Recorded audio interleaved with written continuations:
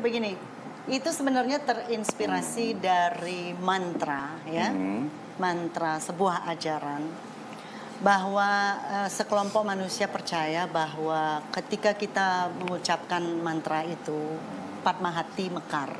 Kalau dijabarkan secara arti kata Om itu artinya penyatuan pikiran, perkataan dan perbuatan. Mani itu adalah permata. Kalau eh, teman-teman tahu kecubung permata berwarna ungu itu adalah simbol dari kasih sayang.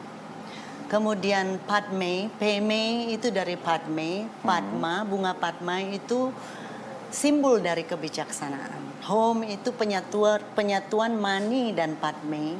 Ketika kasih sayang hanya kasih yang kita punya. Kasih sayang yang berlebihan membawa petaka. Kan begitu ada kata orang bijak. Jadi kasih sayang pun harus dikombin dengan kebijaksanaan. Terus saya ingin kalau eh, tidak keberatan karena konsep berkesenian saya adalah memberi dan juga menerima. Jadi eh, bukan one direction tetapi saya juga harus menerima sesuatu dari adik-adik yang ada di sini. Lagunya sangat sederhana, mungkin bisa Bisa, coba dicontohkan ya. ya. Iya. Oke. Om mani peme hom. Bisa nggak? Coba ya. Om mani peme hom. Om mani peme hom.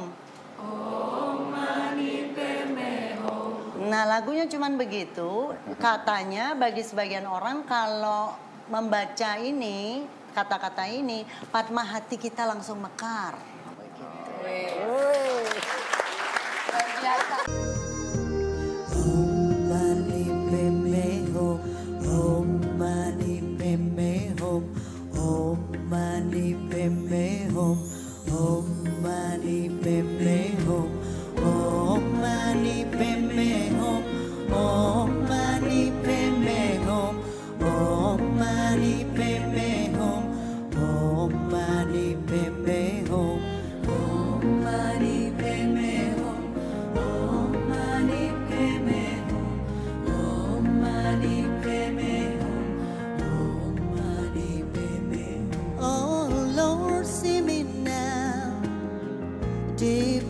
On my knees.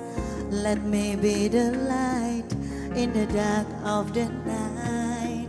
Sweet Lord, show me how to live the other here and now and forevermore.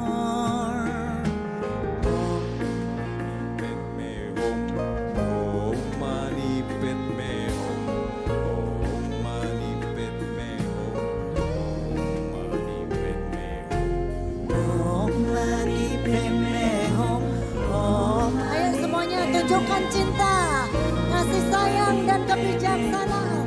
oh, mani home, oh, mani home, oh, mani home, oh, mani home, oh, mani peme